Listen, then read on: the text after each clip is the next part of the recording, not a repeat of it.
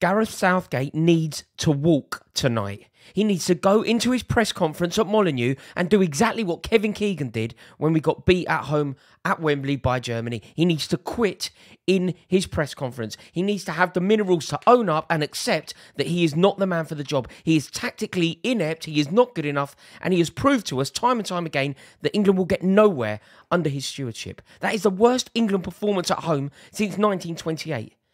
94 years, Gareth Southgate has finally achieved something. He has set a new record, a worst England performance at home for nearly 100 years. And if he has anything about him, if he is this man of principle that we keep hearing he is, the press will have us believe that he is a man of honour and principle and takes pride in who he is and what he does. He will walk from this job because he must admit he is not good enough. He must be suffering drastically from imposter syndrome. He must look around that dressing room and think, I don't know what I'm doing here. I honestly don't know what I'm doing. He's looking at world class footballer after world class footballer, thinking, I do not know what I'm doing in this room. But it's wicked. I've got a wicked job, I earn loads of money, I go around the world and everyone loves me. I, I cannot believe what I've witnessed tonight. It was absolutely pathetic. Pathetic. If you thought that the first three games of this tournament were bad, you wouldn't believe what you watched tonight. It was outrageous. And now England are bottom of the group. We have two points. Two points. We've scored one goal and we have just been battered home and away by a side that are ranked 40th in the world. it, it's borderline funny. If it wasn't so tragic, if it wasn't so upsetting, if we didn't have a World Cup to win in a few months' time, this would be hilarious. But it's actually harrowing because we are going to waste this amazing, gifted, wonderful crop of supremely talented footballers on a clown. I did my best with Southgate. I committed to him last year. I argued with my friends on the kickoff. You probably watched it. I argued with Geordie. I argued with Adam. And I said that we have to back Southgate. We have to pledge loyalty to him and demonstrate aggressive support. But it's over. It's over. It's an experiment. It's a social experiment almost. Let's give somebody a job that they have no right to have. He's a manager that could not get a job in the Premier League. Gareth Southgate is nowhere near a Premier League manager. We've just been destroyed at home by Hungary. You know the geezer in the Hungary team? Plays for Barnsley. Plays for Barnsley. And at 4 0, we were desperate in the Black Country. It is unbelievable what happened at Molineux. I'm honestly flabbergasted at quite how bad that was. Listen, I went to Brazil under Hodgson.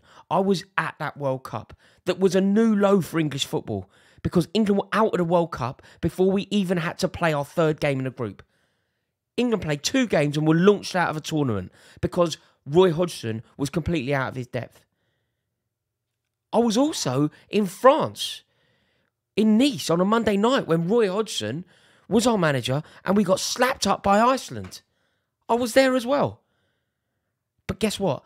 Neither of those two appalling instances following England come anywhere close to what happened tonight. That was tragic. It was painful. It was absolutely unacceptable. And I think what makes it all the worse is the fact that we know we are good enough to win this World Cup. That's not saying that we're going to win it, but we are good enough to win it. We are one of the countries that have the players that are good enough to win it. We have the personnel. We have everything that you could possibly need to win a World Cup. We have the star quality. We have the experienced footballers. We have the mercurial talent. We have the goal scorer. We have everything that we could possibly need, but we have a clown in the dugout. And unless that changes, unless somebody demonstrates an element of bravery and sacks this coward or the coward himself, stops being a coward and does the right thing for his country and walks, we have no chance. We are going into a World Cup that we should be one of the favourites for, and it's it's, it's, it's touch and go whether we get out of a group. Wales, America, and Iran will be looking at us thinking, oh, do you know what? They're there for the taking. These are dumb. We can, we can do these. They're good on paper, but they ain't got a clue how to play on grass. No, their manager, not switched on. It's truly unacceptable. And I tell you what, Southgate was so lucky. By the end, Molineux was half empty because everybody was streaming out. But if it was full, the boos were loud enough and there was nobody there. Did you hear the songs? Everybody singing, you don't know what you're doing, you're getting sacked in the morning. But annoyingly, he's not getting sacked in the morning because the FA are such an old tie institution where they do not they do not look at his record. It is not a meritocracy. He's seen as being a statesman who represents the, the FA and the country very well. Get the best man for the job. Don't waste this amazing crop of players on somebody that is a statesman. If that. It's unbelievable how bad that was. It's truly woeful. And as I said, people are singing you don't know what you're doing, and that's true. People are also singing you're going to get sacked in the morning, and he's not because the FA won't do it. The FA do not have the minerals. The FA gave him a new contract when there was no need.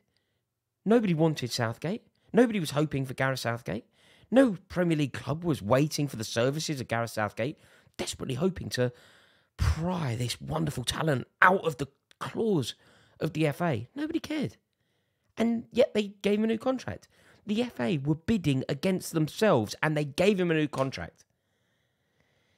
I honestly, I cannot believe it. I put this on Twitter. I said Southgate is a coward that was truly woeful, tactically inept, blatantly out of his depth, wasting one of the most gifted crops of players that we have ever had on a manager who lacks even a semblance of bravery or tactical nous. He needs to do the right thing for his country and walk away. We had two shots on target all night. Battered 4 0 at home. But do you know what? Listen to this. I've got two tweets that I think will explain exactly why Southgate will remain in the job. And I've got to do full disclosure here. The two people I'm talking about, I'm going to talk about a chap called Liban, who some of you will know does Sharky's podcast. And I'm going to talk about a journalist called Matt Lawton. Full disclosure, I don't know Liban. I never met him. We're not mates. I like him. I follow him on social media. I look forward to liking him, but I do not know him. So this isn't me backing my mate at all. Never met Matt Lawton either. So these are two tweets that I think show you exactly why he will remain in the job. Liban hits a nail on the head, in my opinion. Spot on. Listen to his tweet.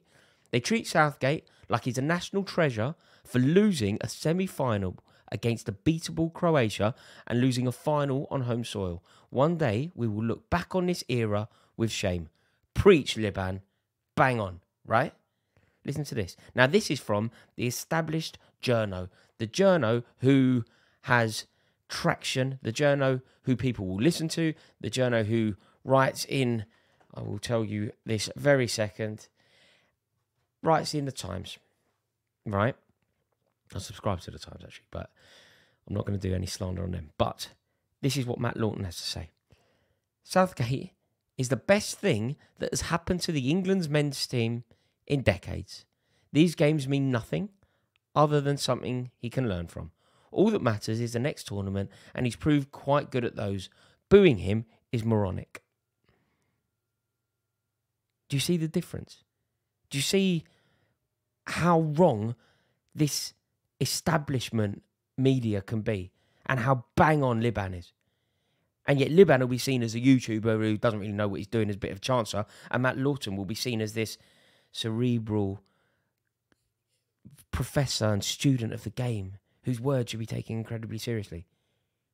Southgate is the best thing that's happened to the England men's team in decades. The best thing that's happened to the England men's team in decades is Gareth Southgate. What is going on? What is going on? That is so wrong. It is so incorrect. But this is what it is. It feels like it's jobs for the boys. It feels like it's establishment journalists, people in high positions of power in the game, people with media presence that are perhaps friends with Gareth Southgate. They're all backing their man. And it's left to me and Liban to tell it as it really is. I'm furious. I'm genuinely furious with that today. Nightmare. Absolute nightmare. Outrageous, isn't it? In a World Cup year. That's what we got to watch. In a bit. Let me know your thoughts in the comments, man.